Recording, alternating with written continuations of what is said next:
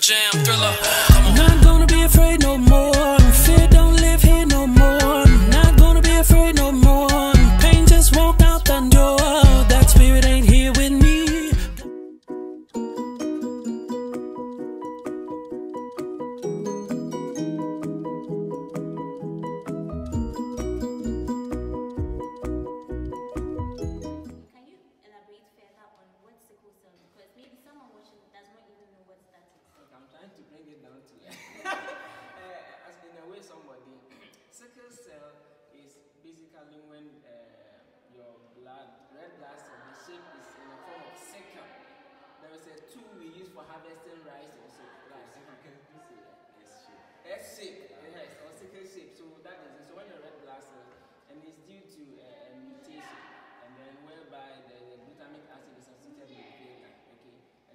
Person's RB, RBC shapes become cell and they are not able to flow through the blood vessels as it should with the normal biconcave shape of a red blood. So when they are passing through the blood vessels, they get stuck. If they get stuck, the one, the organs after the stuck, they don't receive the blood. So there's infection, there's pain, and all of those things. So eventually leads to death. Yes, of course, of course. If, but some people can live with it now because of, uh, you know, they are trying to sensitize a lot of people about it. And it's not even only that should be our worry, and then the resource incompatibility. There's, if you have the ABO incompatibility and the resource incompatibility, everybody who checks the blood group and we have the plus or minus sign, that is what we are talking about, the resource incompatibility. With that, it means if you are positive, it means you have RHD, resource factor D. If it is negative, it means you do not have. So example, if a woman is pregnant and then the woman is negative, the woman doesn't have the resource factor. But if the developing fetus or the baby has a positive, it means the baby has something addition that the mother doesn't have. So if their blood mix, then the mother will notice that "Hmm, there's a foreign something in another blood, in my blood. Therefore, the mother will start producing antibodies against the baby, and that was when we, we result in infancy. I mean, killing hemolytic diseases of the newborn, which in medical terms they say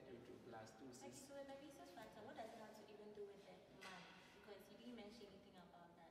Yeah, with the man, there, there's no problem. What the baby inherits from the man is not a big deal. The issue is the relation between the mother and the baby. If the mother is negative and the baby is positive, irrespective of the blood group itself, that one is, is a If serious thing. to elaborate So on what she's trying to ask you is, like you mentioned that if the mother is negative and the baby is positive, but if someone doesn't understand like the whole genetics of it, they won't know the relationship between the mother and the father.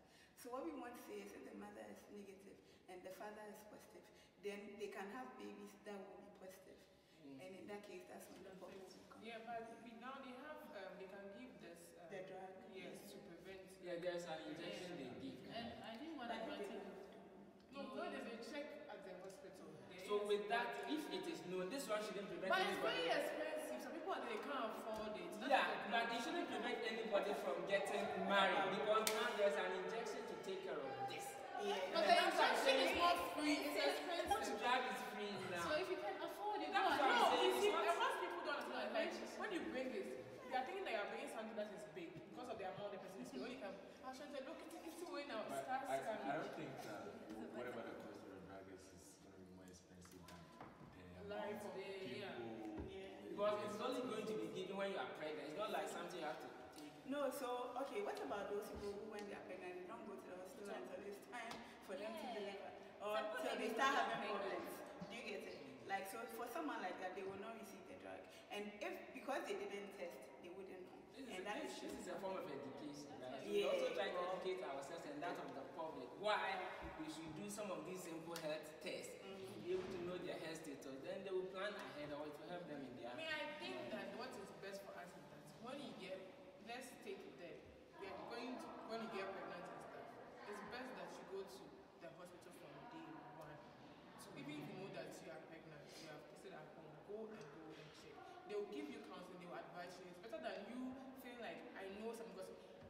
that will give me advice. At times they don't know everything, so you go things are changing. So you go and you get those advice from them and you'll be able to protect yourself, your children. Yeah, so I was saying that one advantage of knowing um, these tests about these tests eh, so that the doctor can be able to help you.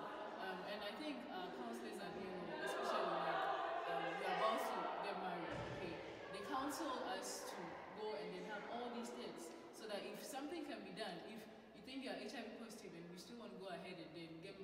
something can still be done so that your children don't get affected.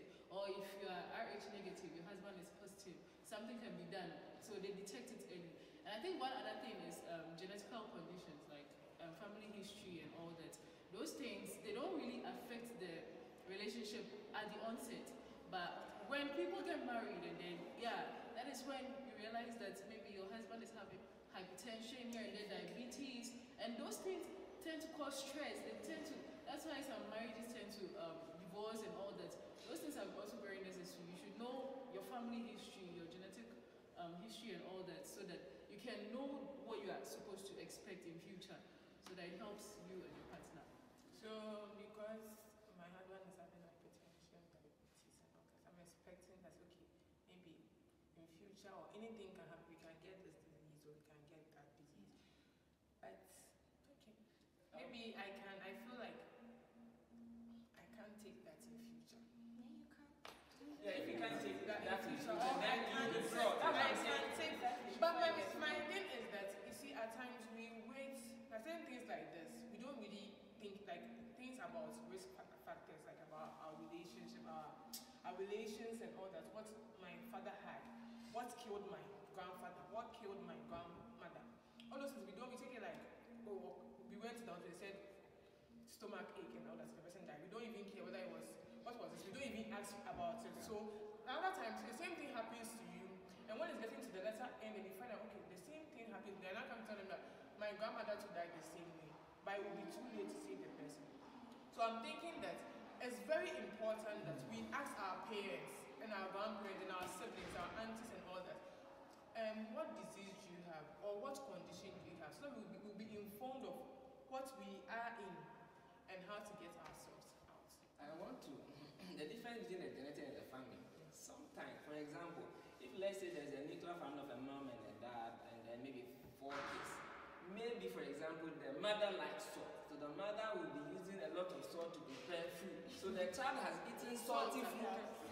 So by the time you realize the whole family in later, in later years, they are hypertensive. It doesn't mean that it is genetic. So I just want to Yeah. draw a hand. Sometimes maybe the person has listed a lot of cholesterol, cholesterol, all these things. So the lifestyle also counts. And it shouldn't so just because this family they have a lot, then it's genetic. You should probably it's the lifestyle.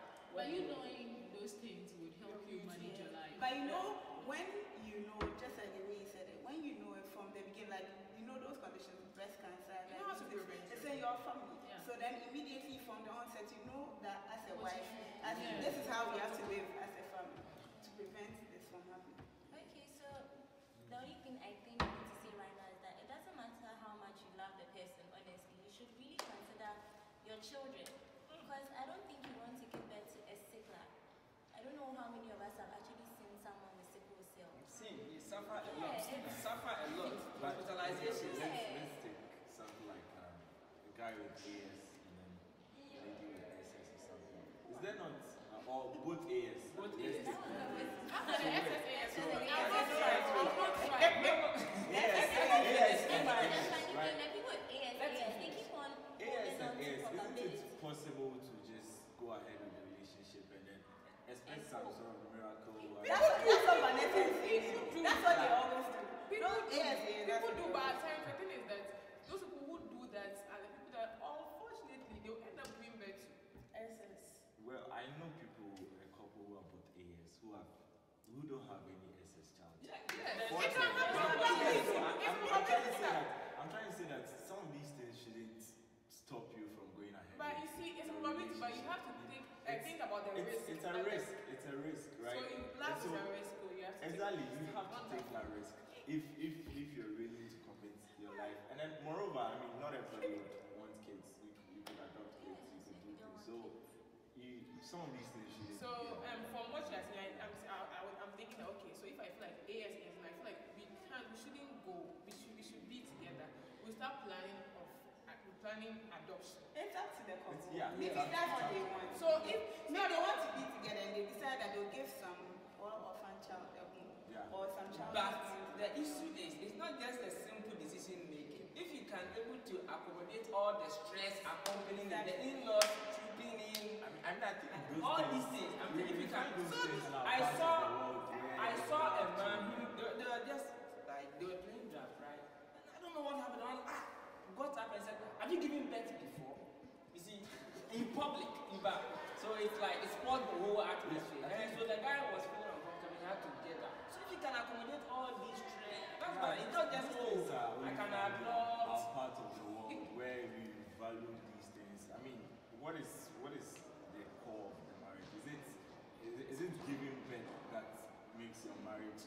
Marriage. There are people who have given birth and their children are just going about. So I don't think that is uh, uh, a yardstick to judge someone's relationship. And so we should forget about all those things. If if you're willing to commit to any form of condition, you, you think you can live with it. I think you still should go ahead. It comes down to your purpose, right? Exactly. So in the end, it's based on the couple. Because if you're getting to, to uh, if you're going to be with someone, it's I don't think it's all about love. Okay, love is the first thing that drives you, but um, as time goes on, you just realize that your purpose and all other things are in place. All these things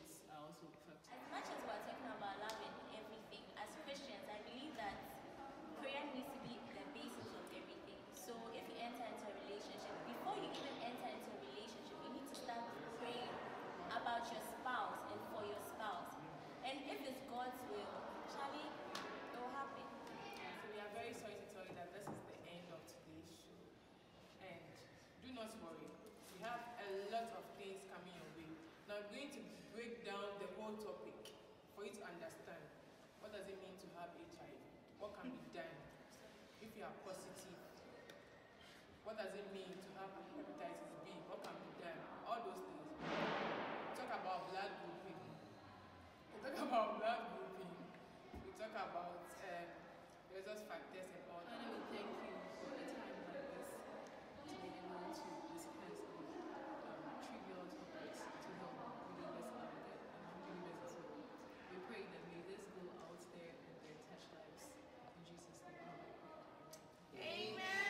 Pajam thriller.